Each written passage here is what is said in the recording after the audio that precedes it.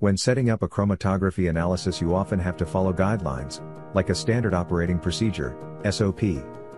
There are many areas where manual sequence creation can cause errors.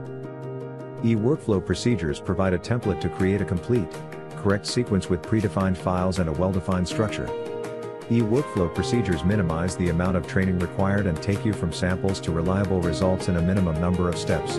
Let's look at an example of using an eWorkflow procedure. In the eWorkflows category, select your eWorkflow procedure, select an available instrument, and go.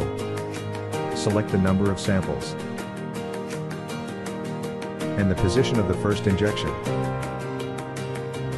You can start the sequence immediately. Both rack layout and sequence preview are automatically updated. And the sequence can be edited, for example for sample names and injection position. When ready, click Finish. And the sequence is created and started. To view the running instrument, click the button.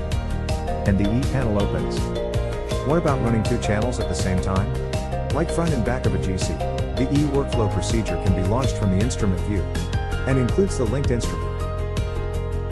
So when the samples are added, the sequence preview shows the instrument name, and the correct instrument method is assigned and the injection position is separated on the sample. Sequences with the same name automatically number incrementally and are created in the prescribed directory. A great example of fast, accurate sequence creation using eWorkflow procedures.